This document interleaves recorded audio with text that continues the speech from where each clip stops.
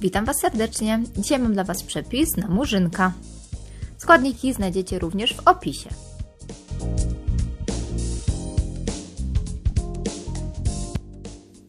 Do garnka dajemy masło, cukier, kakao oraz wodę.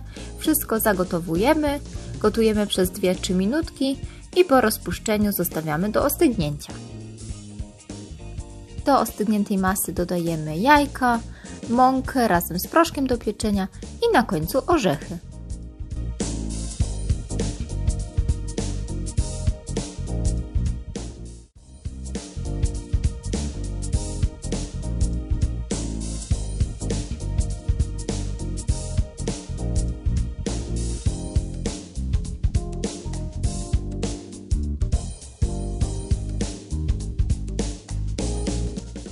Ciasto wylewamy do blaszki i pieczemy przez około 30 minut w temperaturze 180 stopni, najlepiej góra i dół.